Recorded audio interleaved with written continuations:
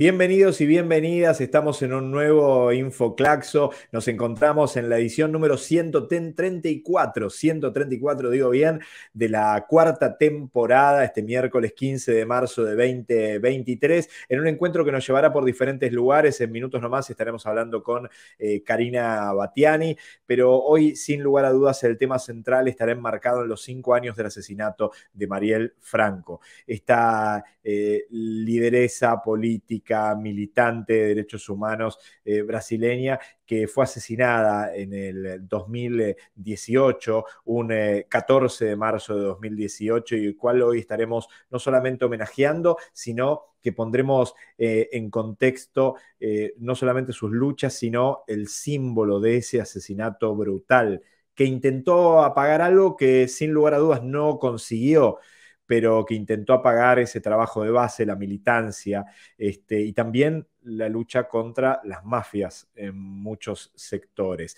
Eh, ustedes saben que Mariel Franco para Claxo es una figura, una representante eh, muy, pero muy importante, a tal punto que inclusive el auditorio central de la sede aquí de Claxo en la ciudad de Buenos Aires eh, está nombrado como Mariel Franco, así se llama, ese es su nombre en un pequeño pero muy sentido homenaje a esta líder eh, política asesinada en el 2018. Así que tendremos una entrevista con Joana Coutinho desde el norte de Brasil, de San Luis de Maranhão, que estará hablando con nosotros y analizando en profundidad no solamente eso, sino también la situación política actual en Brasil después de la devastación de Bolsonaro. También estaremos presentando en otras palabras eh, este ciclo especial, en este caso con la eh, presencia de la excelentísima Virginia Gina Vargas, la gran Gina Vargas que estará aquí con nosotros, y también estaremos hablando de esta semana del 2024, Semana de la Memoria, en donde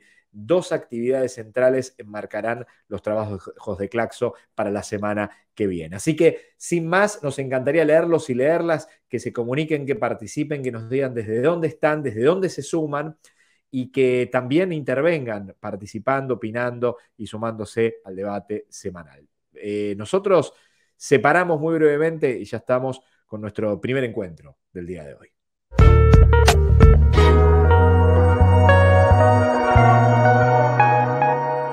Continuamos con el Infoclaxo del día de hoy, miércoles 15 de marzo del 2023. Lo anunciábamos hace algunos minutos que vamos a estar hablando con Karina Batiani, directora ejecutiva de Claxo, y le vamos a preguntar desde dónde está y para que nos cuente también eh, algunos detalles más de su viaje, porque entiendo que tiene relación también con el mes de las mujeres. Karina, bienvenida al Infoclaxo, ¿cómo estás tú?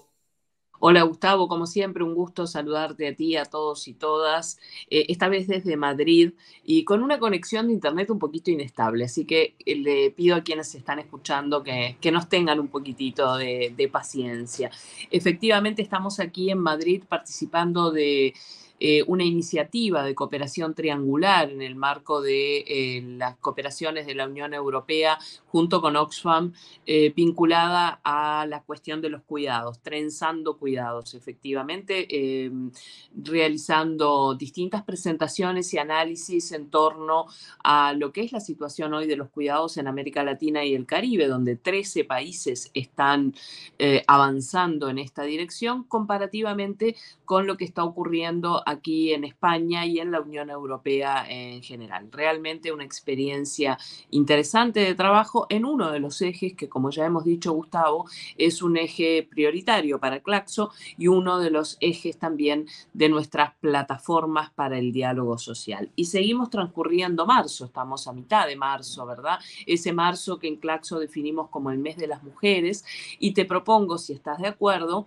eh, avanzar en las columnas que habíamos comenzado a inicios de marzo en torno a algunas dimensiones justamente relevantes eh, para este marzo, mes de las mujeres. Hoy eh, te propongo analizar los últimos datos, la última información que hay sobre una dimensión clave para la igualdad de género, que es la autonomía económica. Y no solo para eh, la igualdad de género, sino también para el cumplimiento de los derechos de las mujeres, concretamente, entre otros, el derecho, bueno, justamente a la autonomía económica, a la participación en el mercado de trabajo, a disponer de recursos, de ingresos propios para tomar sus decisiones.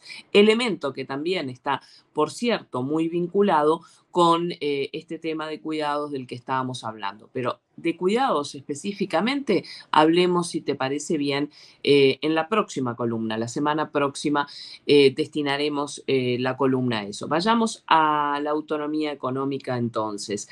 para eso, miremos, por ejemplo, uno de los últimos informes de la OIT, la Organización Internacional del Trabajo, que nos muestra que la recuperación post pandemia ha permitido, en términos generales, que la dinámica del empleo regrese en 2023 a los niveles previos a la pandemia, es decir, a 2019. Ahora, si, miramos esto un poquito más de cerca y como hacemos siempre, colocando el lente eh, de género en este tipo eh, de información, vemos que a fines de 2022 la tasa de desocupación a nivel regional alcanzó casi el 7%, 6,9% de la población económicamente activa, bajando desde el 9% al que había llegado en 2001 y perforando incluso el piso de la prepandemia que era el 8% a finales del 2019. ¿Qué pasó con el empleo femenino? A nivel regional, la recuperación del empleo femenino en el último año, en 2022, ha exhibido una intensidad mayor a la experimentada por el empleo masculino, una intensidad mayor, es decir, el empleo de las mujeres se ha recuperado más promedialmente que el empleo masculino. La mayor recuperación de la oferta laboral de las eh, mujeres se puede explicar básicamente por dos factores.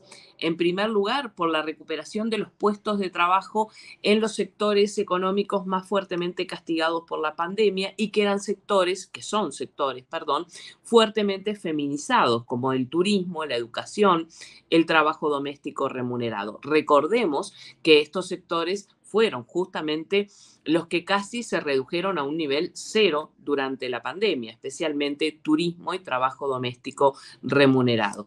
Ese em, es el primer factor, pero también eh, la gradual relajación de las dificultades para conciliar el trabajo remunerado con las tareas de cuidado en la medida que se fueron reabriendo los servicios educativos eh, y los servicios de cuidado, es decir, esas eh, tensiones, digamos, en términos de la articulación trabajo remunerado, no remunerado, al volver los servicios que habían, se habían detenido sobre la pandemia, permiten que las mujeres reingresen, que, eh, que retornen eh, a, a sus empleos con mayor facilidad.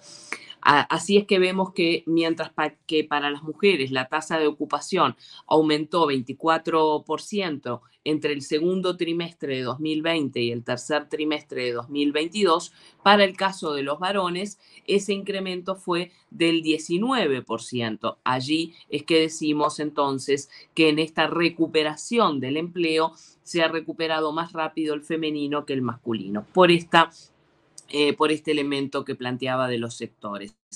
Esta dinámica favorable eh, hizo que en el tercer trimestre de 2022 la tasa de ocupación de las mujeres superara en 1% la tasa del mismo trimestre en 2019, mientras que en el caso de los varones eh, esa tasa fue similar en ambos trimestres.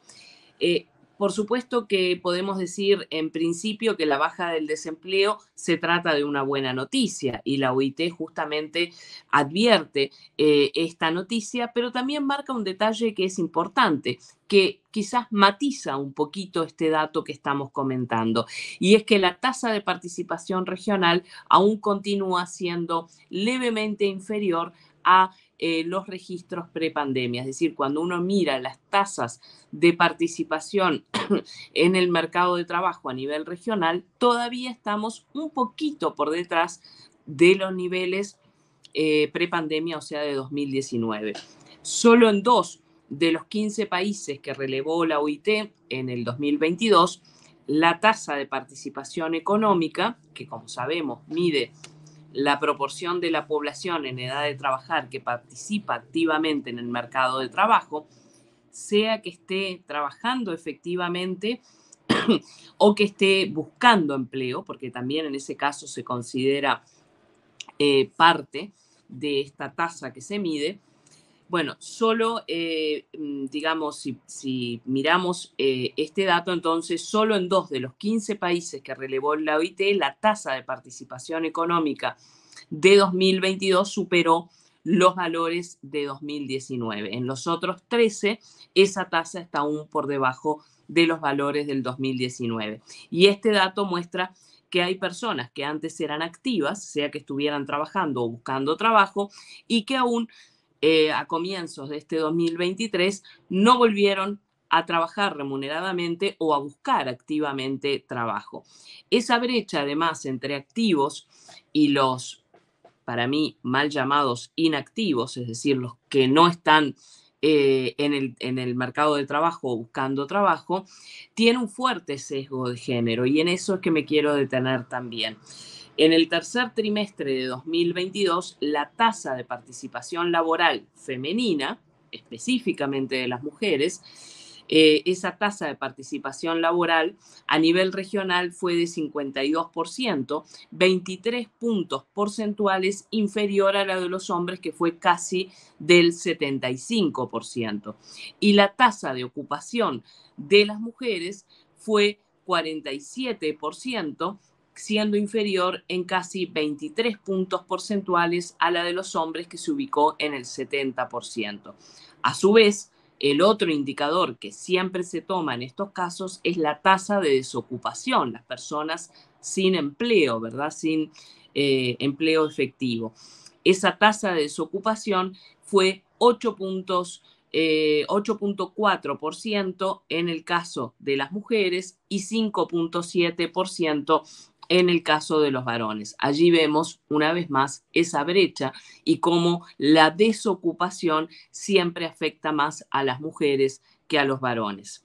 Particularmente las mujeres de menor nivel educativo en el tercer trimestre de 2022 continuaban significativamente más alejadas del nivel de empleo del mismo trimestre en 2019. Puede sonar un trabalenguas, pero estamos comparando datos 2019-2022. Em, aquí lo que vemos es que efectivamente, además de esa brecha de género, cuando miramos al interior de las situaciones de las mujeres, efectivamente aquellas con menor nivel educativo tienen un impacto mayor en eh, términos de eh, la posibilidad de ocuparse en el mercado de trabajo. En el otro extremo, si miramos la tasa de ocupación de los hombres de niveles medios y de niveles altos de educación, se encontraba en los mismos valores que los que se observaban tres años antes. Es decir, en el caso de los varones no observamos esa variación y sí en el caso de las mujeres. La evolución del empleo ha mostrado eh, diferentes intensidades, por tanto, entre varones y mujeres. En promedio, han sido las mujeres quienes se recuperaron más rápidamente luego de la pérdida de ocupaciones femeninas en el momento más crítico de la pandemia,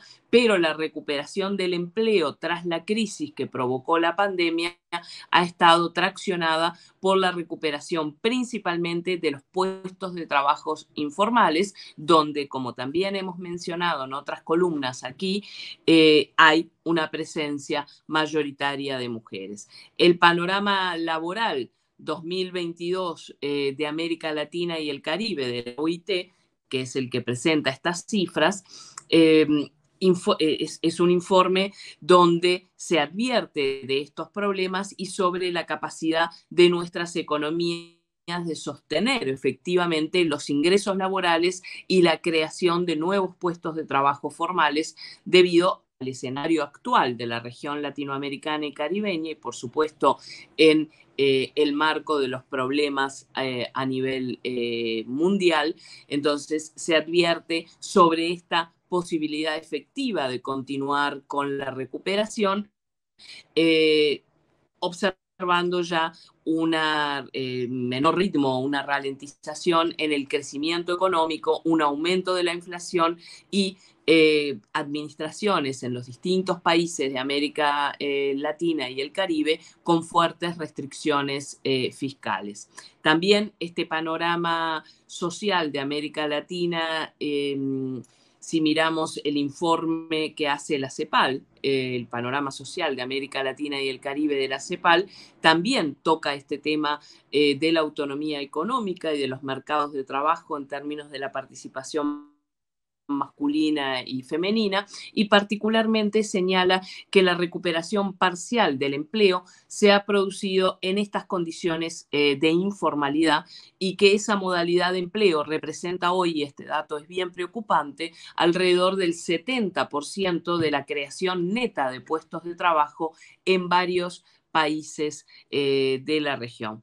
Por tanto, este es un tema que nos tiene que llamar eh, una vez más a la reflexión, particularmente en nuestras plataformas para el diálogo social sobre eh, el trabajo y las dinámicas del mercado del trabajo hoy en nuestra región, con esta recuperación, pero que como vimos, cuando la miramos recuperación de los puestos de trabajo, pero que como vimos, cuando miramos de cerca, aparecen una vez más las brechas de género y eh, el crecimiento del sector informal en nuestra región. Recordemos que cuando hablamos de puestos de trabajos informales, estamos hablando de puestos de trabajo sin ningún tipo de eh, protección o seguridad social. Eh, creo que este es un elemento entonces a tener en cuenta en marzo, mes de las mujeres. Clarísimo, Karina, y pensaba cada vez que te escucho sobre estas cuestiones, lo, los centrales que son cada una por separado, pero lo fundamental que, entender, que es entender el entrelazado ¿no? que existe entre una y otra, en la cual si, si existen nuevas regulaciones, nuevas legislaciones y nuevas cuestiones eh, para controlar, por ejemplo, en eh, las cuestiones relacionadas con los salarios, pero si no se tiene en cuenta cuestiones relacionadas con el cuidado o con las violencias, digo, hay, tiene que haber un equilibrio entre cómo se va avanzando entre todas estas cuestiones. Es fundamental el entrelazado, ¿no?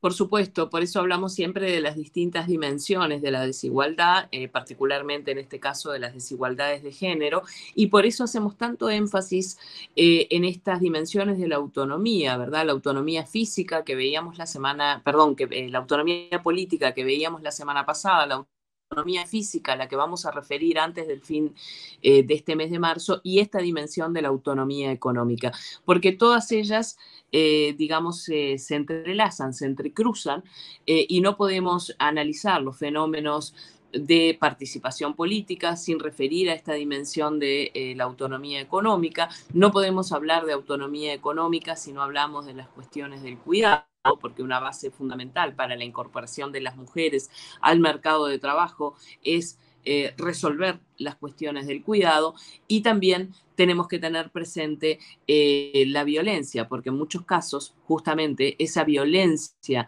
basada en género se convierte en un obstáculo, bueno, se convierte en un problema central en la vida de las mujeres, pero en lo que refiere a la autonomía económica, se convierte en un obstáculo también para su incorporación y su participación en el eh, mercado de trabajo. Por eso estamos siempre tratando de cruzar estas tres dimensiones junto a otras eh, que iremos analizando. Eh, Karina, antes de, despedirte y agradeciéndote, digo, por, ayudarnos a, reflexionar sobre estos temas, poniendo en el contexto del mes de las mujeres, no quería dejar pasar el encuentro eh, para poder hablar de, algo que estaremos eh, tratando en el programa del día de hoy, que ayer referíamos que son los cinco años del asesinato de Mariel Franco en Brasil. Veíamos la publicación que tú hacías en las redes sociales en la jornada de, ayer. Ya pasaron cinco años del asesinato de Mariel Franco. Mariel fue asesinada por la discriminación racial y política. Su voz nunca será silenciada, pero nos, nos interesaría eh, poder avanzar contigo en alguna reflexión de lo que implica a cinco años del asesinato de Mariel Franco. Sí, em, efectivamente, estuvimos ayer recordando ese, asesinato brutal, ¿verdad? Eh, y que todavía además eh, no se ha esclarecido y donde, donde se combinan estas dimensiones de las desigualdades, porque es, eh, si tú quieres, la demostración eh, de la discriminación eh, en todas sus dimensiones, lo que lleva al asesinato de, Mariel, ¿verdad? Una mujer política, negra, eh, luchando por sus derechos, defendiendo la diversidad y que es brutalmente asesinada.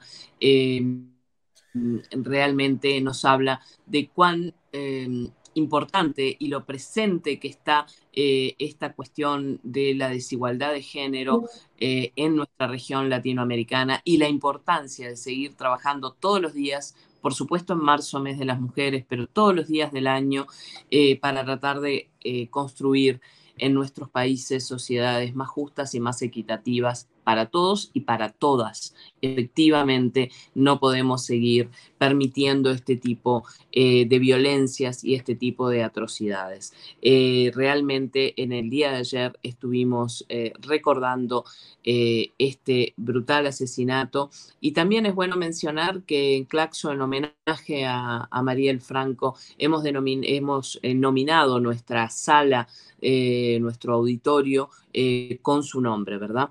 Em, así que vaya también desde aquí el recuerdo em, a esta activista, a esta luchadora que fue brutalmente eh, asesinada. Gracias Karina por, el encuentro. Obviamente en una semana nos, volveremos a, ver, este, seguramente ya desde desde Buenos Aires, pero bueno, habrá que ver ahí eh, relacionado con, tu agenda, pero con lo que será la semana eh, que viene, el 40-50-50, también un punto central para pensar Latinoamérica y sobre todo Sudamérica, ¿no? 40 años de la recuperación democrática en Argentina, 50 años del fin de la dictadura en Uruguay y en Chile, y sé que ahí también este, va a ser una participación importante de Claxo. Sí, 50 años de los golpes de Estado en Uruguay y en Chile. Eh, sí. efectivamente, y comenzamos ese recorrido allí en, Buenos Aires la semana próxima con un foro, eh, bueno, que estaremos, por supuesto, a quienes estén en Buenos Aires recibiendo presencialmente y si no transmitiendo eh, por distintos, los distintos canales de Claxo sobre la democracia, los derechos humanos y los desafíos eh, que eso eh, representa hoy en nuestros países. Así que sí, nos encontraremos seguro desde allí, desde Buenos Aires y en el marco de las actividades de este foro 40-50-50 que estará comenzando en Buenos Aires. Karina, que tengas un excelente viaje, excelentes jornadas por allá, de, sabemos que de muchísimo trabajo e intensidad y nos vemos en una semana presencialmente y también en el Infoclaxo. Claro que sí, Gustavo, será hasta la próxima semana. Karina Batiani, directora ejecutiva de Claxo, aquí eh, con nosotros en el programa, en un programa especial. Ella, en este caso, desde Madrid, España. Bueno, con este recorrido que viene haciendo y que evidentemente no termina acá, que continúa a lo largo de eh, marzo, como llamamos aquí en Claxo, mes de las mujeres. Separamos y ya seguimos con el Infoclaxo especial del día de hoy.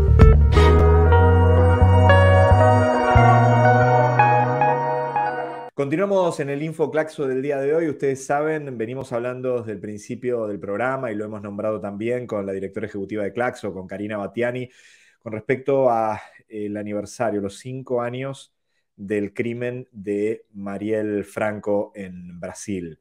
Socióloga feminista, militante de los derechos humanos y de las mujeres negras en Brasil. Bueno, Mariel Franco fue baleada la noche del 14 de marzo de aquel 2018 en Río de Janeiro. Tenía 38 años. En esos días venía denunciando la violencia en las favelas y el accionar de grupos parapoliciales en tiempos este, de un gobierno eh, ilegítimo que había sacado del poder eh, a Dilma Rousseff. Eh, en un momento de mucha crisis social y política.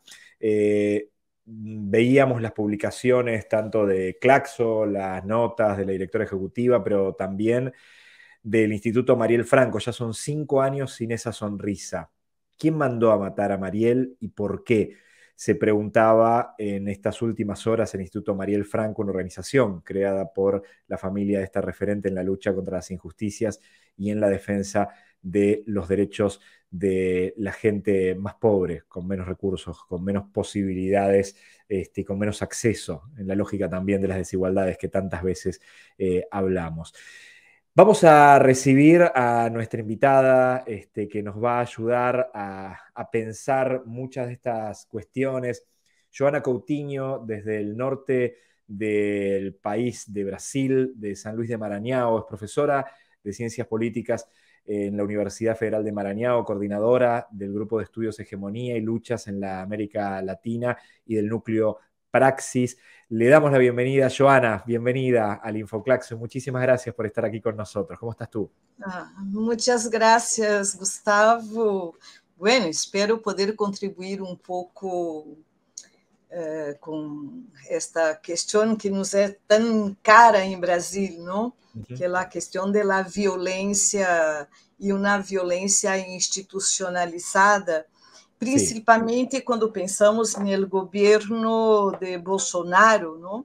Tal cual, tal cual. Joana, sí. ahí en ese camino, digo, evidentemente el asesinato de Mariel Franco es un hito no solamente terrible, sino que desnuda este, parte de esa violencia que después se ejerció con mucha brutalidad también durante el gobierno de Bolsonaro. A cinco años de ese asesinato, eh, ¿qué reflexiones te trae eh, el asesinato de una militante, luchadora por los derechos, eh, en lucha en contra de las desigualdades, una mujer negra? Digo, ¿qué, qué, es lo que te trae como reflexión a cinco años? ¿Qué cambió? ¿Qué, se, qué empeoró? y qué implicó el asesinato de Mariel Franco, porque fue Mariel Franco, pero también entiendo que fue un gran símbolo de callar las voces de gente que luchaba para tener voz y darle voz a otros, ¿no? Y otras. Bien, a empezar, eh, Marielle Franco es un símbolo, ¿no? Porque primero mujer, joven, uh, militante e com muita, muita coragem, porque enfrentou eh, não somente ela, mas uh, seu grupo, uh, o crime organizado em Rio de Janeiro, não? Empieza por aí. Mas por que matam a Marielle Franco? Creio que é a questão principal, não? Porque era a voz em el parlamento, ela vereadora e muito competente, muito atuante, muito atuante em las favelas eh, de Rio. Pero mais do que isso é pensar como tratamos os militantes de los derechos humanos em Brasil, não? Marielle não foi a primeira e depois de Marielle eh, também tínhamos eh, casos como de Bruno Pereira, indigenista, que também foi brutalmente assassinado. E para isso temos que entender um pouco antes de 2018 e depois de 2018 hasta 2022, não? Que empieza com as organizações uh, mais, uh, como posso dizer, com uma organização mais formal da direita em Brasil. Não? Eh, que empieza em 2014 com a eleição de Dilma Rousseff por seu segunda segundo mandato, né? Uh, e que mobiliza uma parte da elite brasileira e da classe média de uma forma brutal. Não? Porque, mira, que o governo de Dilma não, era um governo é, com um programa estritamente da esquerda, com grandes mobilizações populares, que creio esse é um problema central para nós outros, não? Uh, mas algumas conquistas de direitos de las mulheres, de los indígenas, uh, com programas de assistência ou programas que atendem a necessidade da população brasileira incomodava muitíssimo eh, uma classe média que eu penso sempre é um, um, uma camada que tem medo de perder aquilo que nunca nunca nunca teve, né? Num, num, é uma questão de estudo mais rigoroso para entendermos por que este apelo é tão forte, não? En ese sentido, Joana, podríamos, podríamos pensar que hay una clase media que se ve más reflejada eh, en, en, sus lógicas eh, con los sectores de mucho poder adquisitivo, muy poderosos, de mucho dinero, en vez de mirarse en el lugar en el cual están parados. ¿Y eso genera una identificación falsa? Não creio que seja falsa, pero creio que não é lo suficiente para entendermos o que passou acá, não? É, creio que, em geral, hay una, una claro, la, la, cuestión de la ideología, ¿no? Están acá, mas piensan como si estuviera mucho al lado de donde están. Pero también porque en el gobierno, los gobiernos del PT, en este primer momento, la clase media se sintió que perdía espacio para una clase popular o de trabajadores, trabajadoras, uh, que todavia não havia alcançado este patamar em la sociedade brasileira. Eu vou tentar explicar-me melhor, não? Uh, por exemplo, las, eh, os programas de inserção social, que todavia, em minha visão, eram tímidos, pero com um efeito uh, muy grande em uma camada da população, não? Hijos de las empleadas domésticas que acessam lá a universidade, não? Claro, eh, hijos de los campesinos que agora são doutores, enfim. Há uma série de medidas que, eh, vuelvo a dizer, é tímida, pero com um efeito muy grande em uma sociedade como a nossa, que foi marcada por la esclavatura durante muitos anos, não? É uma dificuldade que temos que romper acá. Mas mira, Marielle Franco e também Anderson Gomes, não, su, su motorista, quebra ou intenta quebrar, digamos, com esta lógica né, da sociedade brasileira e por isso incomoda tanto, né? Ou incomodava. Bueno, continua a incomodar. En ese, en sí. esa lógica de incomodar y en el convencimiento de sectores eh, que, que no sé si necesariamente estaban enmarcados en la derecha, pero empezaron a enmarcarse en las lógicas de derecha y de ultraderecha. Primer factor, como para Joana, para que nos ayudes a pensar, ¿cuánto colaboraron los sectores religiosos, evangelistas en muchos casos, en conformar eh, más poder hacia la ultraderecha en Brasil? Bueno, Gustavo, es necesario pensar Bueno, não me gusta muito colocar como se fuera solamente los evangelistas, não? Que nós chamamos acá de neopentecostales, Sí. Pero también una parte de la Iglesia Católica que tiene una, un grupo pentecostal muy fuerte, ¿no? Y sí, claro, una ideología que pasa todo el tiempo, dos ideas eh, que, que atingem a população mais, mais, eh, pobre, não? Eh, primeiro, del empreendedorismo, todos são grandes empreendedores e tal, que muito baseado em la teologia eh, de la prosperidade, não? Eh, isso é muito forte, pero creio que não explica todo todavia, não? Porque este eh, la, la questão religiosa toma o espaço quando nós outros que somos eh, de la esquerda ou progressistas como queiram abandonamos um pouco este trabalho que foi chamado de trabalho de base, não? que era que hacía Marielle, não? um trabalho de base atuante, presente em las questões de la população, uh, não era uma, uma ativista eh, em el escritório, não? Eh, tinha uma vida ativa, eh, coerente, muito forte. Como também Bruno, o caso de Bruno Pereira, não? o indigenista, que estava em la defensa de las causas de los indígenas em Brasil, que é um problema seríssimo, não?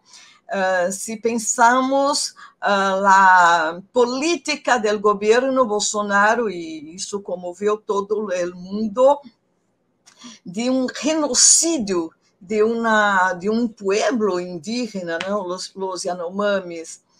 É esta lógica que, enfim, é muito dura e que necessitamos encará-la com, com muita energia, com muita força, eu penso. Joana, en, en, todo este recorrido, eh, nosotros vimos y hablamos en varias oportunidades con respecto a las lógicas de la fake news, eh, la utilización de medios digitales para convencer a sectores de, de la población, eh, las fake news eh, enmarcadas también en las lógicas de Loafer, o sea, la utilización de los medios de comunicación, la justicia para encarcelar, concretamente proscribir, bloquear la participación de algunos dirigentes eh, políticos. ¿Cuál piensas que fue el impacto de esas lógicas de las fake news, del uso de las redes sociales para la construcción de sentido, sobre todo de la derecha o de la extrema derecha? É, é muito importante porque a direita e a extrema direita em Brasil aprendeu muito rapidamente a utilizar estes meios de comunicação que nós outros todavia uh, não, não, sabemos não utilizar completamente. Agora, no governo Lula, há um setor para cuidar da comunicação digital, é muito importante porque mira, a potência de las notícias falsas é muito grande e atinge principalmente um grupo com, mira, não sei se solamente este grupo, pero com muita força, porque eh, quem são os responsáveis por transmitir as mensagens, não? O pastor, eh, uma pessoa que tem um respeito em la comunidade, então, isso é muito, muito potente, muito potente. Temos que saber como utilizar os meios. Se não sabemos utilizar a técnica, e creio que não é necessário é utilizar de falsas notícias, pero desmentir as, as, as notícias que são que são falsas, não? É, aqui em Brasília é impressionante como a notícia ela se se alastra, hay esta, esta palabra en español. Se arrastra, a ver. Se alastra, que tem um, um espaço muito grande Sim. em muito pouco tempo, não? É, e que é, é, é, difícil, pero é muito necessário encarar com muita seriedade este tipo de comunicação é que abre o pastor. Por exemplo, eu falava da Igreja Católica, há um canal uh, da Igreja Católica em Brasil que é muito poderoso e habla muito muito em sério com uma parte da população e muito rapidamente, não? E são eh, as ideias mais conservadoras.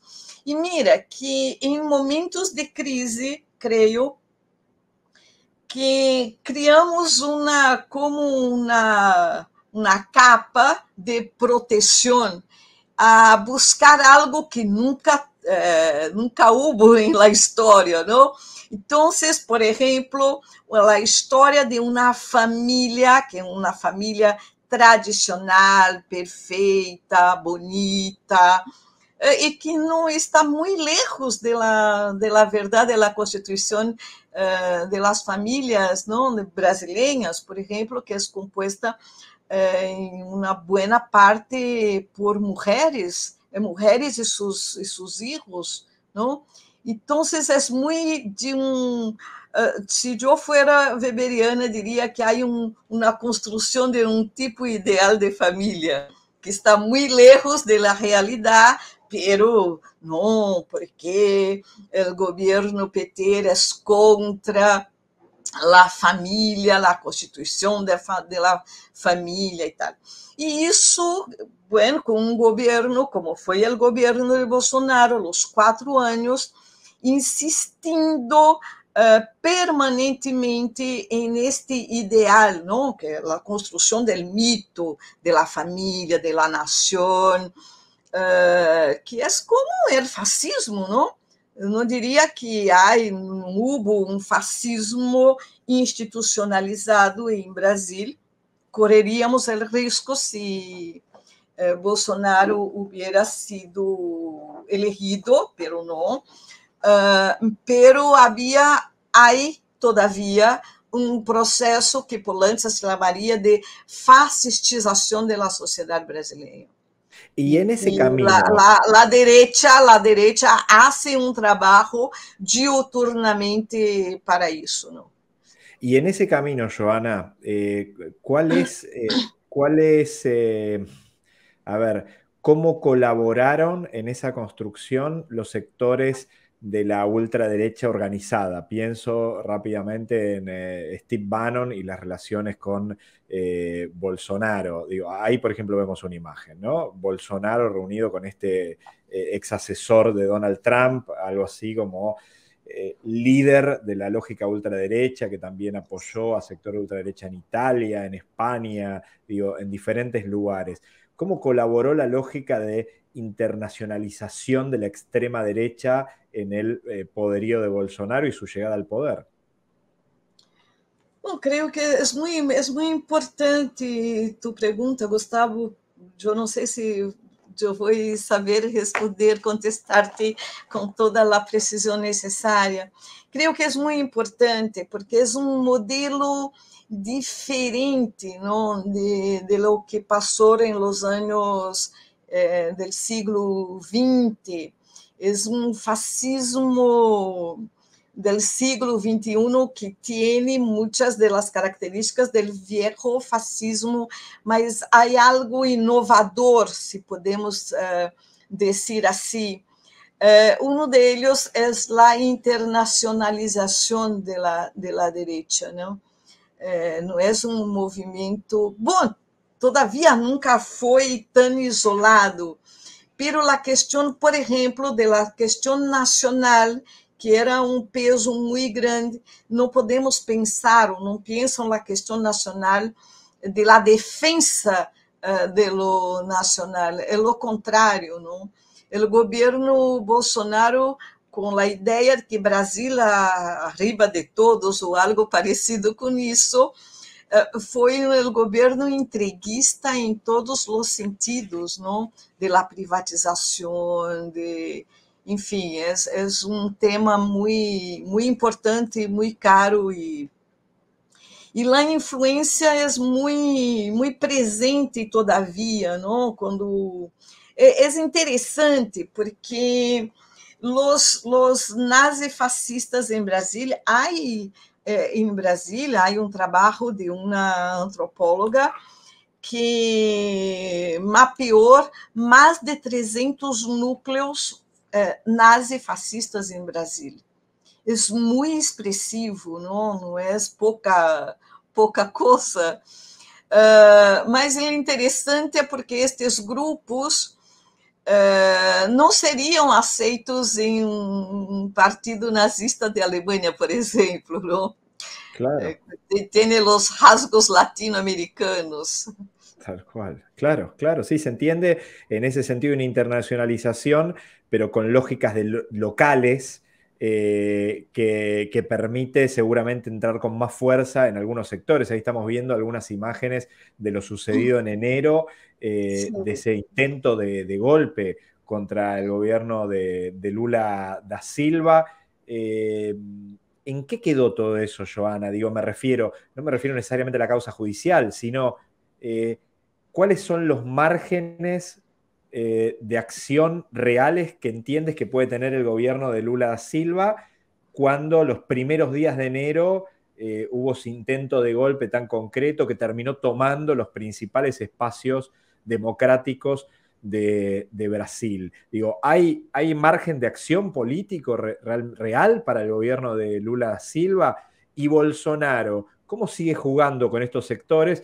Porque entiendo que debe haber una cantidad de detenidos y detenidas después de estas barbaridades de enero, pero muchos de ellos siguieron instalados hasta días después frente a, los lugares, a los regimientos militares, a los espacios, pidiendo por favor que atacaran la democracia. ¿Eso está desarmado o hay, hay todavía cierto temor de que esto pueda resurgir de alguna manera y se puedan rearmar eh, atrás de Bolsonaro? Mira, Gustavo, es una cuestión muy importante porque para pensar la, como llamamos acá, la intentona de, enero acá, uh, há a presença de los militares, não, de las, de, del exército brasileiro. Então, todos, hasta agora, todos que estão eh, eh, arrestados, não, que estão presos, uh, e têm que estar, são pessoas com um perfil muito baixo, não? Muito baixo em todos os sentidos. É, basta ver é, como trataram com é, obras de arte no palácio, não? e lá simbologia de atacar todos os três poderes, é, executivo, legislativo e também o judiciário, não? o poder, o Supremo Tribunal Federal. Mira, é, hubo una orquesta para que uh, pudiera haber un, una intervención militar, pero Lula es un grande negociador y, y con una capacidad política muy, muy grande, ¿no? Uh, pero yo no creo que la derecha esté desmovilizada, están muy, muy movilizados. E isso, mira, e aí temos que entender a composição do governo Lula, porque o governo Lula, este governo, este terceiro mandato, tem muitas pessoas e grupos e partidos eh, que eu vou chamar de uma direita liberal, não? Então, é um governo de muita tensão, pero com algumas com alguns sinais de, eh, de câmbio importante para a sociedade brasileira. Não? Principalmente o combate à hambre, que Brasil havia saído do mapa da hambre há muitos anos e voltou no governo Bolsonaro. Uma recuperação de que chamamos acá de salário mínimo, não? Eh, isso é muito importante programas como Mi Casa, Mi Vida, que proporciona las camadas populares eh, uma, uma maneira de conseguir eh, ter sua su moradia. Isso é muito importante. A questão da merenda eh, escolar, né? como manter os niños em la escola tendo alimentação. Isso tudo é muito importante. A intervenção uh, por la proteção a las tierras uh, de, los, de los pueblos originários, como os indígenas, em um combate ao racismo em Brasil, que uh, somos a maioria de, de negros, pero com racismo que alguns autores chamam de estrutural muito, muito forte, não? E que é uma questão de luta de classes, mais do que solamente a questão étnica. Uh, tudo isso é muito importante. Uh, pero há, há setores, por exemplo, de la educação que necessita de cambios urgentes, como a reforma do ensino médio, não sei se se habla assim em espanhol. La enseñanza uh, media, sí.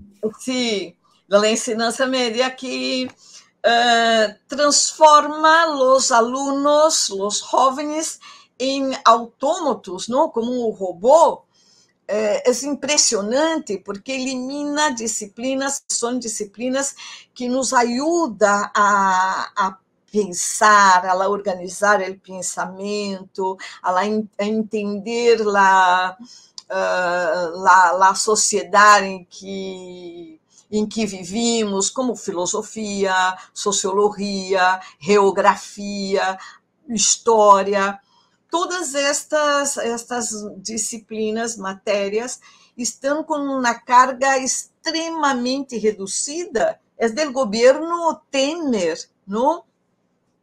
E há um pouco, eu diria, de resistência, todavia, em uma revogação eh, desta reforma, porque é um atraso uh, em la história, em la conquista da educação pelo por el pueblo brasileño.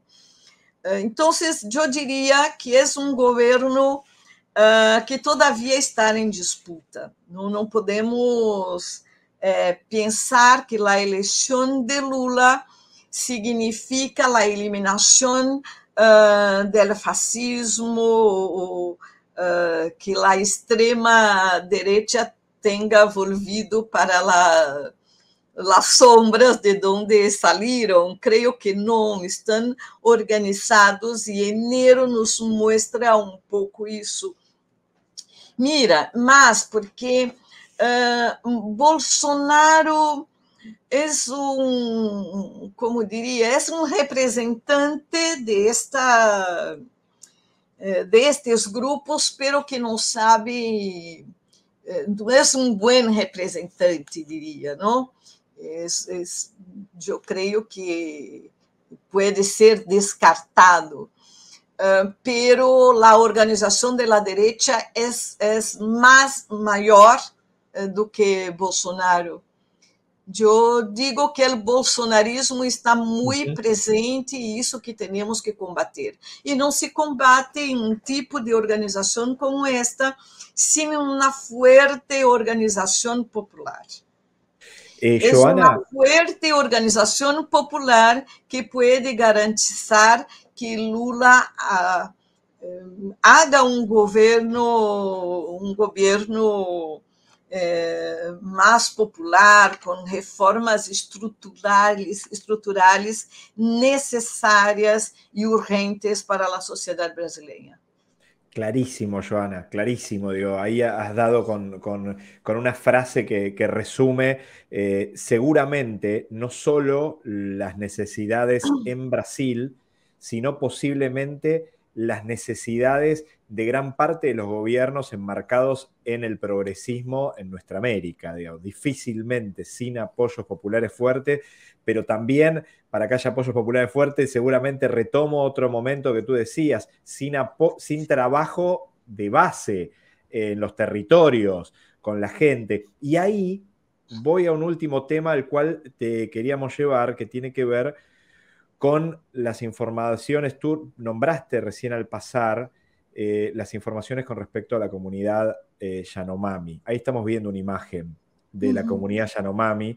Eh, recordemos, digo, pongo simplemente en contexto para luego preguntarte, Joana, eh, había hace aproximadamente un mes, en una visita del presidente Lula a una de las comunidades de Yanomami, habló del nivel de devastación, de crisis humanitaria, de salud brutal al cual estaban expuestos esas comunidades, que no solamente fueron abandonadas, sino que concretamente todo parece indicar que hubo un intento de genocidio, un intento de eliminación de esas comunidades. Y la noticia de las últimas horas, Joana, habla de que la policía brasileña destruyó 200 campamentos y confiscó, 84 embarcaciones y dos aeronaves, pero ¿de qué? De la minería ilegal en la reserva indígena Yanomami, en la Amazonía, eh, lo cual marcaba que Bolsonaro les abrió las puertas, le regaló los territorios Yanomami a la, minería ilegal y sacar, sacarlos de esos espacios, eliminarlos como sea, era la forma de generar esos negocios, Joana? Sí, es, es terrible eh, esta situación porque creo es un intento, como tú mismo dijiste, de genocidio de un pueblo, ¿no? Eh, e a pensar que este pueblo está em um território rico em vários tipos de, de, de minérios, não ouro e outros. Eh, então, a mineria ilegal é uma questão muito, muito complexa, Gustavo, porque há também pequenos mineradores, eh, y los grandes que están eh, por detrás de toda esta violencia con el pueblo, con el pueblo Yanomamis. Entonces, ¿cómo resolver este problema también atendiendo uh, toda, toda a situação de, de, penuria que vive? Porque, mira, a mineração traz um outro problema gravíssimo, que é a questão da água, né, del água, porque é, o uso de mercúrio contamina os rios. Se contamina os rios, eh, eh, las personas não têm como eh, fazer uso de la, de la pesca, por exemplo, não? Então, é uma situação muito, muito, muito triste. Esta foi a medida principal do governo Lula nos primeiros dias, não? E a presença física dele no território sinala para estes grupos que as coisas tendem a, a cambiar. Mas é necessário buscar eh, os grandes responsáveis por isso, não? Que é a mineria, é a, questão da madeira, é, porque há um processo de deflorestação grande, não? E isso nos primeiros meses, bom, estamos há três meses do governo Lula, esperamos que avance, não? A presença da ex-ministra de Meio Ambiente, Marina Silva, é muito importante, porque foi muito importante o primeiro governo de Lula e, e vuelve a, ahorita, não?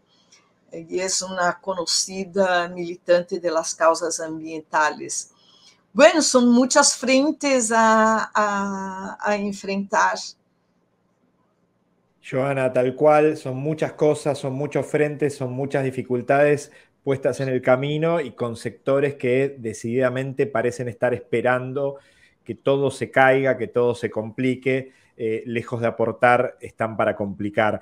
Joana, te agradecemos enormemente por esta charla, por la posibilidad de contigo eh, recordar a Mariel Franco, pero poner en contexto eh, el recuerdo con sus luchas, el recuerdo con, con, su importancia en ese trabajo de base, en, esa lógica cotidiana de, poner en valor esos sectores del pueblo, eh, pero de trabajar con ellos, de también trabajar en, la lógica en contra eh, de, los, de los grupos que se aprovechan de las situaciones de desigualdad desde la delincuencia, pero también desde el poder político. Joana, eh, lo mejor para, el pueblo querido de, de Brasil, eh, entendiendo que es un proceso de cambio muy, pero muy importante. Y bueno, eh, ojalá que estas fechas, estos aniversarios estas personas tan valiosas eh, sirvan para, para, repensar algunas de estas cuestiones. Digo, y como tú decías, sin el pueblo, este, sin apoyos populares, difícilmente estas cuestiones puedan avanzar. Te agradecemos un montón por este encuentro. Muchas gracias, Gustavo. Yo que agradezco muchísimo la oportunidad y recordar aquí que é, há uma disposição muito grande do governo Lula de encontrar de los mandantes do assassinato de Marielle Franco e, e Anderson Gomes, e é muito, muito importante que isso aconteça uh, para que os mandantes e outros não se sintam tão seguros que vão continuar impunes eh, de, sus, de sus crímenes. Muchas, muchas gracias.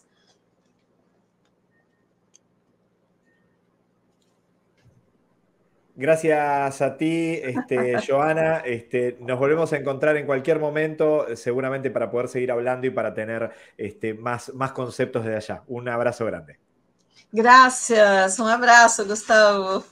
Joana Coutinho estaba aquí con nosotros y nos comentaba detalles fundamentales para poder entender algunas cuestiones de la realidad de Brasil. Ella es profesora eh, de Ciencias Políticas de la Universidad Federal de Maranhão, coordinadora del Grupo de Estudios Hegemonía y Luchas en la América Latina y del núcleo Praxis, y estuvo aquí en el Infoclaxo. Dividimos y ya seguimos con más en el programa del día de hoy.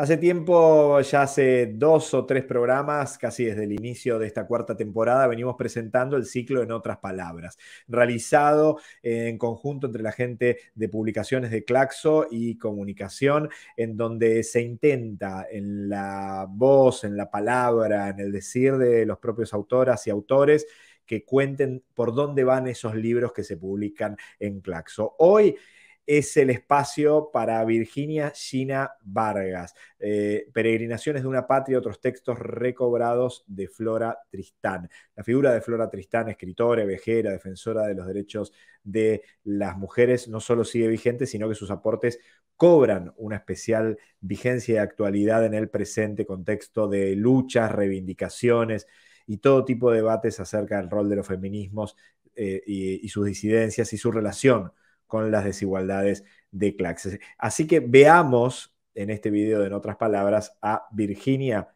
Gina Vargas.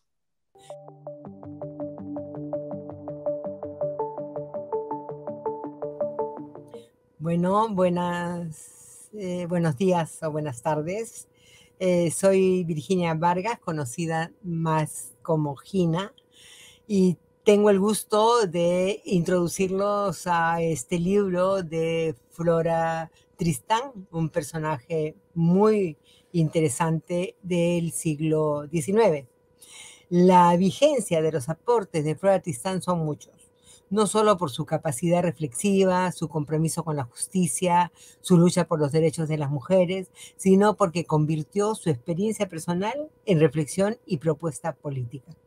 Así sus vivencias sus rebeldías, sus formas de expresión y sus disputas democráticas radicales siguen siendo de insospechada, inspiradora y tenaz actualidad para las mujeres, para la clase trabajadora, para las y los desposeídos, para todas las personas que queremos los cambios, ¿no? Flora Tristán fue hija de un militar peruano-español, Mariano Tristán, descendiente de una aristocrática y poderosa familia arequipeña, y de Teresa Leinsen, francesa. Mariano Tristán era cercano al libertador Simón Bolívar y por lo mismo compartía su aspiración libertaria. ¿no? Reconocida Flora Tristán como precursora del feminismo y del socialismo, ella vivió en carne propia las discriminaciones que históricamente viven las mujeres. Su padre murió cuando ella tenía cuatro años dejándola como hija ilegítima, además porque no había sido reconocida. Viviendo entonces previamente en la prosperidad, la familia quedó con eh, escasos recursos. Flora entonces trabajó tempranamente, primero como empleada doméstica, luego como obrera, casada, se casó luego con el dueño de la, de la fábrica, eh, fue autodidacta y eh, bueno, con tres hijos y un matrimonio infeliz para ella, huyó de esa relación y se convirtió en una mujer perseguida por abandonar el hogar, pues estaba en esa época prohibido el divorcio y el esposo prácticamente era dueño de la mujer. En su huida tiene la oportunidad de conocer información sobre su familia en Perú y entonces decide emprender un viaje audaz que pone en evidencia su apasionada y fuerte personalidad, ¿no? Llega a Arequipa en 1833, a los 30 años, para conocer a su acaudalada familia, los Tristán y Moscoso, hermanos de su padre, y quienes, sin embargo, se niegan a darle el reconocimiento y la herencia y solo recibe una pequeña subvención mensual. En este periplo comienza a verse y sentirse subalterna hija ilegítima, mestiza en los dos mundos, mujer que abandona a su marido y es acusada por ello, etc. Junto con su experiencia en Perú, donde se le niega el reconocimiento. Es allí donde toma mucho más conciencia de su condición de ilegitimidad, de ser subalterna, de ser una paria. Y entonces el pensarse a sí mismo como paria, su experiencia subjetiva y vital, la experiencia vital del país y la sociedad y la familia cercana al poder, eh, comienza a recuperar desde, desde esta experiencia no solamente su voz, sino la voz de los oprimidos frente a la soberbia oligárquica y aristocrática que estaba en el mundo, especialmente en Perú. Entonces, Peregrinaciones de una paria, que escribe en 1837, es el libro que escribe a partir de esta experiencia que viene a cimentar su fama en Francia, porque ya era conocida por sus artículos contestatarios. ¿no? Eh, la, desde la, para ella la situación de las mujeres, ah, y eso lo ve a partir de sus propias vivencias, comprende que las mujeres no tendrán una vida digna sin, sin libertad y sin independencia. Y entonces para ella la situación de las mujeres se deriva de la aceptación del falso principio que afirma, por un lado, la inferioridad de la, de la naturaleza de la mujer respecto al varón este discurso ideológico hecho desde la ley, la ciencia y la iglesia margina a la mujer de la educación racional, dice ella, y la destina a ser esclava de su amo. Es también una búsqueda de espacio propio, todo este proceso de su vida, ¿no? En espacios contaminados por las diferentes formas de poder, incorporando en lo público algo que seguimos haciendo hasta el día de hoy, incorporando en lo público las invisibles exclusiones y abusos de poder en lo privado, ¿no? Y desde allí comienza a ponerle nombre a lo que aún no tenía nombre, violencia contra las mujeres, derecho a una maternidad libremente elegida, por no aceptar la reclusión doméstica, por el derecho a decidir, por el derecho al divorcio, por el derecho a una educación laica e igualitaria, por un Estado laico, aquel que expresa las voces de la ciudadanía y no las voces particulares de las iglesias. ¿no? Y es increíble entonces si nos ponemos a pensar que muchas de estas luchas siguen aún sin su cabal y propio reconocimiento. Bien, muchas de estas reflexiones quedan plasmadas en varios de sus libros, ¿no? Además de Peregrinaciones, que es el, libro madre, el que impulsa toda esta, mirada, ¿no? Ella escribe Paseos en Londres, que evidencia la situación degradante de los obreros y las mujeres en ese país. Luego, la Unión Obrera, precursora de... Eh, de, Marx dando idea de cómo la revolución industrial dio origen a la aparición de un nuevo actor social, el, eh, el obrero, ¿no?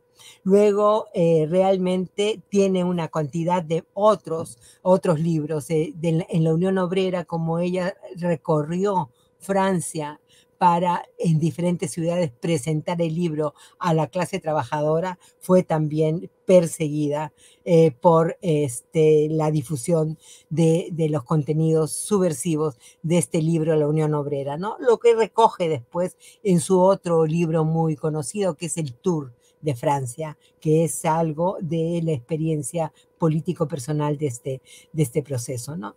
Creo que la, eh, no puedo dejar de referirme a su eh, perspectiva internacionalista, pues sus frecuentes viajes la llevaron a reconocer que tanto la opresión de la mujer como la de la clase obrera no se dan en un lugar específico, sino en todas las naciones y por ello la lucha tiene que ser global.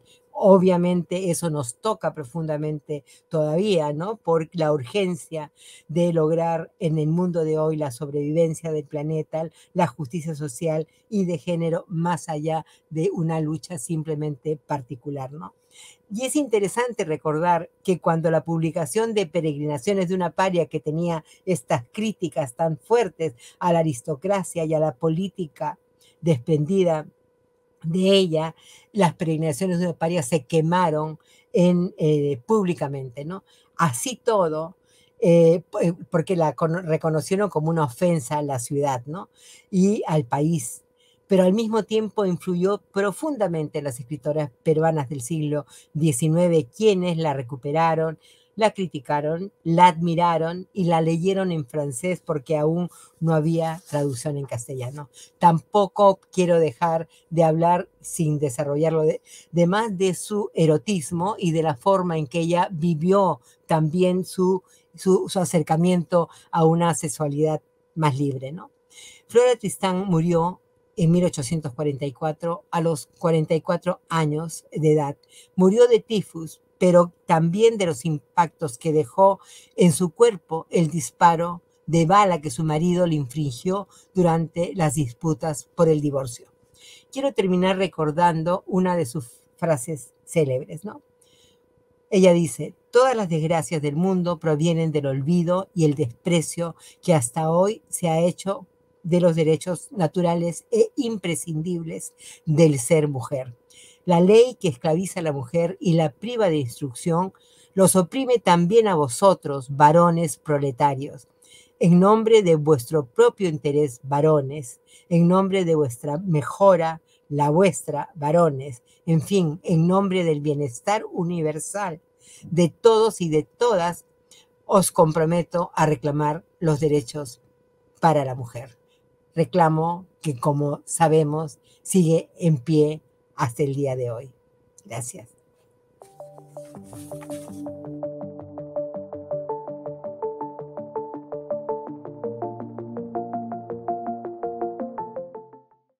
Y ahí veamos este material enmarcado obviamente también en el mes de las mujeres, que en Claxo se sigue trabajando y mucho en diferentes cuestiones relacionadas con las temáticas de los feminismos y las disidencias. Recuerden el programa especial que tuvimos la semana pasada, pero que será tema central durante todo el mes, al igual que todo el año, pero focalizando eh, en particular, digo, de ahí la elección también de hablar de las luchas de Mariel Franco en el programa del día de hoy, también enmarcado en esta lógica del mes de las mujeres. Pero vamos a hablar de otra gran temática que estamos trabajando este mes que tiene que ver con algo así como la Semana de la Memoria del 2024. Ustedes saben que el 24 de marzo es un aniversario del comienzo de esa brutal este, y nefasta dictadura en la República Argentina. Entonces, eh, eh, en esta semana se realizarán diferentes actividades en Argentina, específicamente en la ciudad de Buenos Aires. Eh, en principio, 40, 50, 50 en el Centro Cultural de la Cooperación, a 50 años de los golpes cívicos militares en Uruguay y en Chile, a 40 años del retorno de la democracia en la Argentina, que será una fecha hacia diciembre de este año. Bueno, estaremos en el Centro Cultural de la Cooperación, eh, junto con la gente del Centro Cultural de la Cooperación, haciendo diálogos sociales a 40 años de la recuperación democrática en la Argentina, el 21 y 22 de marzo eh, de este año, con las actividades por la mañana talleres, diferentes talleres que en estos momentos se pueden inscribir en la página web de Claxon, claxon.org, y ahí pueden encontrar eh, la diversidad en la variedad de los talleres de formación que se van a estar realizando. Por otro lado, eh, a partir de las 15 horas, de 15 a 20, el martes y el miércoles, abierto, actividades abiertas a todo el público, ahí sin necesidad de inscripción previa. Vamos a poder navegar ahora muy brevemente la página web con algunas de las actividades que se van a estar haciendo eh, ahí. En principio, miren, ahí podemos ver los talleres presenciales, eh, uno, terruqueo nuevas formas de estigmatización y criminalización de la protesta social en América Latina, el caso peruano. Otro, historia reciente, políticas de memoria y acción colectiva. Eh, en ese caso, la coordinación es de Ana María Barleta. En otro, racismo, perspectiva étnico-racial y afroargentinidad, con Federico Pita, el amigo Federico Pita. Democracias, paz, territorios, vínculos, disputas y posibilidades con, eh, coordinado por Carolina Bautista de Colombia. El testimonio como práctica de memoria y resistencia, también nuestra amiga de la casa, Ana Cacopardo, estuvo aquí en el Infoclaxo hace dos programas y Memorias Colectivas y Luchas Políticas Actuales con la coordinación de Isabel Piper. Es el momento de inscribirse porque evidentemente son espacios acotados, digo, eh, no, no, es ilimitado, no es que se puede llegar en el momento y participar, entonces es el momento de inscribirse porque evidentemente los cupos se agotan y muy velozmente. Y en el programa del 40-50-50, miren, por la mañana los talleres de 10 a 14. Eh, a las 13 ya comienzan las presentaciones de libros ahí en el Centro Cultural de la Cooperación. Ahí miren, por ejemplo, las tramas del tiempo, eh, con Elizabeth Chelín, siempre fue sobre nosotras, va a estar presentando el libro de la compilación de Manuela Dávila con Karina Batiani. Y a partir de las 3 de la tarde, ahí empiezan los debates, los foros, los encuentros centrales también, eh, por ejemplo, diálogos, memorias colectivas, en los cuales participarán, entre otros, Gerardo Caetano, Verónica Torraz, eh, Marcela Perelman, Elizabeth Chelín, Isabel Piper, Graciela Castro. Y más tarde, eh, por ejemplo, estaremos presentando un eh, afiche, 40 años de democracia, eh, con un texto de Nora Cortiñas, con un video de Nora Cortiñas que realmente vale la pena y que va a ser muy, pero muy potente. Pasado eso, a las 6 de la tarde, ¿Quién está? Manuela Dávila con una conferencia inaugural. Juan Carlos Junio, Karina Batiani, Lilith Berstringe este, estarán en ese lugar. Y el miércoles también, talleres por la mañana y muchos encuentros por la tarde, entre los que se podrán eh, ver, eh, bueno, lo que vamos a tener ahí, la presentación de un video documental, Ciudad Bolívar, eh, un trabajo que venimos realizando hace mucho tiempo y que realmente créannos que es muy potente. Ciudad Bolívar, una ciudad que tiene eh, la comunidad afro más importante, el sector indígena más importante, los movimientos, los primeros movimientos de, mujeres más movilizados estuvieron en Ciudad Bolívar, eh, uno de los barrios populares más empobrecidos de todo Bogotá, pero en donde pasa todo. Digo, y hay que verlo. Bueno, ahí estaremos presentándolo a las cinco y media de la tarde en la sala Tunión del CCC, eh, exactamente en una semana, en una semana. Y después un diálogo ahí también de lujo, diálogo, desigualdades y resistencias en las democracias actuales. Y ustedes dicen, pero esto es todo. No, esto no es todo. Hay mucho más. ¿Por qué? Porque también vamos a estar participando del foro, del tercer foro mundial de derechos humanos, que se va a realizar, entre otros lugares, en la ex ESMA, del 20 al 24. Y ahí la invitación, lápiz y papel, para quienes estén en Buenos Aires en esas jornadas, tendrá muchas y variadas actividades.